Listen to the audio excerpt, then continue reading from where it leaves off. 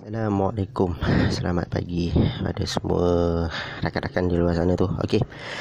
Hari ni kita nak kongsi Berkaitan dengan uh, Sistem auto ni. Uh, Ramai yang tanya Mana auto choke Kereta Iswara Magma Enjin Magma 12 vah Carburetor ni. Uh, Ramai yang tanya Sebab dia orang nak adjust tinggi Dia orang nak adjust rendah Sebab kadang-kadang Tinggi lah timing kereta ni. Bila start pagi so nak rendah sikit kat mana tempat ejar dia. Ok so di mana kereta ni kereta suara aerobag enjin magma 12 var. Dia berbeza dengan 8 var. 8 var auto choke dia kita tarik kat dalam dashboard tu. Dia menggunakan kabel. Ha, bila enjin dah panas kita tolak balik. So timing standard lah. Dia akan letak. Ok bagi kereta magma 12 var enjin uh, carburetor Iswara ni inilah auto choke dia. Yang ni auto. Uh, yang ni dia auto dia akan tinggi sendiri dia akan rendah sendiri. So di mana dia menggunakan sistem air radiator ni hose dia dua batang. Satu dua. Air masuk dan air keluar. Okey. Tempat ejah auto choke ni kat sini pun boleh sini pun boleh. Ha, kita pusing skru ni uh, minyak ni dia akan tinggi.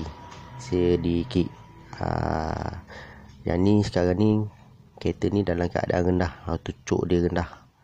Ha, fungsi auto choke ni dia adalah untuk meninggikan timing semasa waktu pagi. So kita nak setting dia ni engine betul-betul sejuk kalau boleh waktu pagi lah. Ha, sebelum kita start kita tinggi kita pusingkan dulu skru ni bagi tinggi. Kita start engine baru kita akan setting balik. Tinggi mana kita nak standard kalau biasa kita, saya setting 1100 dah okey dah. Ha, sebab kereta sekarang ni, kereta ni dalam keadaan macam ni ni 500 RPM saja start pagi. Enjin tu bergegar. Ha, kita kena main minyak, rem-rem minyak baru dia akan tinggi tinggi tinggi. So bila kita tinggikan timing ni, auto choke ni dia akan tinggi 1100 bila panah air masuk dalam uh, auto choke ni dah menerima air kepanasan dia tu dia akan automatik dia akan rendah sendiri. Senang cerita kita tengok macam kereta Wira video injection lah. Sebelum kita start pagi-pagi tu dia akan berdown dulu tinggi. Lepas tu dia akan rendah.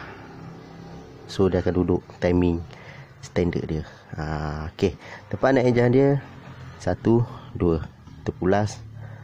Start engine terlalu tinggi kita akan rendahkan balik timing dia Okey, sekejap lagi kita akan setting. Okey, jadi kita kembangkan juga skru kat bawah ni, adjustkan juga. Okey, nampak dia naik sikit-sikit tu. Okey, kita tinggi di bahagian bawah ni dulu. Nanti bila nak rendahkan timing, kita adjust kat sini saja.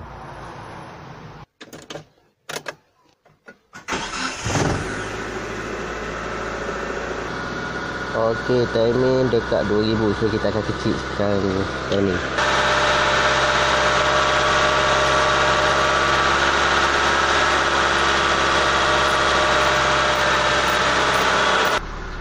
Okey, timing 1100. Ah, macam ni memang timing kita setting lah. 1100 sekejap lagi dia akan turun lagi. Tak sampai 1000 hanya 800 900 macam tu saja. Okey, terima tu.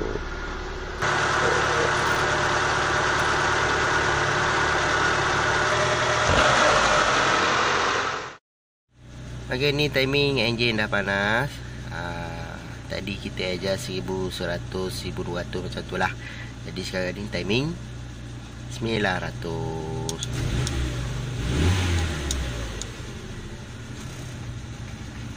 Okey, cantik.